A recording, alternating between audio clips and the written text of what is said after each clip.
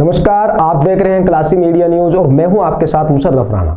चलिए शुरुआत करते हैं इस वक्त की बड़ी खबर के साथ। मेरठ के मवाना थाना इलाके में विदेश में नौकरी दिलाने के नाम पर लोगों के साथ ठगी का एक मामला सामने आया है। आरोप है कि क्षेत्र से सुल्तान नाम के युवक को क्षेत्र के भैंसा गाँव के रहने वाले दिलसाद नाम के एजेंट ने नौकरी के नाम पर सऊदी अरब में फंसा दिया। आरोपी ने पीड़ित से डेढ़ लाख रुपए रकम ली थी। वहीं बताया जा रहा है कि पीड़ित बेबस और लाचारी की ज़िंदगी गुजार रहा है। की गई है विदेश में नौकरी के नाम पर। ऐसा एक प्रार्थना पत्र थाना मवाना को प्राप्त हुआ है उसमें जो दो लोगों पर बुलाया गया है दोनों लोगों को थाना में बुलाया गया है पूछताछ करने के लिए।